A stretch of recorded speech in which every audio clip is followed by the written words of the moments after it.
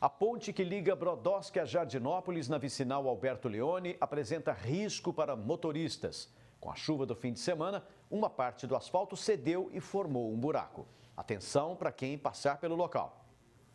O local onde começou a abrir uma cratera está sinalizado, mas é preciso tomar cuidado ao passar pela vicinal Alberto Leone, que liga Brodowski a Jardinópolis. A ponte já apresentava insegurança e agora mais ainda com um buraco.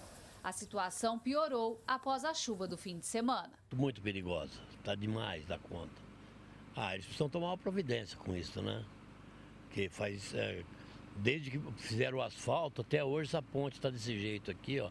Cruza duas condições. Eu mesmo já bati pneu aqui, já estourei pneu na ponte. Queria tomar uma providência, o, pre, o prefeito daqui da cidade, por causa que. para não ter algum acidente ou uma coisa mais grave, né? A ponte está com as defensas metálicas quebradas há bastante tempo, assim como a estrutura toda. O prefeito foi ao local, disse que levou engenheiros para analisar e reconhece que está perigoso, com risco de desabar se as chuvas aumentarem. Nós vamos tentar tampar esse buraco aqui para que não aconteça aí o desabamento dessa ponte. Qual a orientação para as pessoas que passam por aqui? Passar bem devagar, com cuidado e não passar em alta velocidade, passar, se possível, um carro só. Já faz tempo que a gente está sofrendo com essa ponte e também o trânsito aqui já aumentou muito. Já teve muito acidente, olha aí, ó.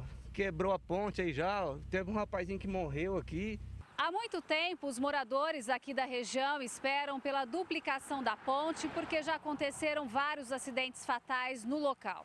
O prefeito garantiu que existe um convênio com o Estado no valor de 700 mil reais para dar início às obras. Então nós acreditamos que assim que liberar, nós vamos fazer a licitação para o mais urgente possível é, duplicar essa ponte que é muito perigoso. Aqui já morreram várias pessoas, então nós temos que tomar muito cuidado. Gislene Lopes, de Brodowski, para o Jornal da Clube.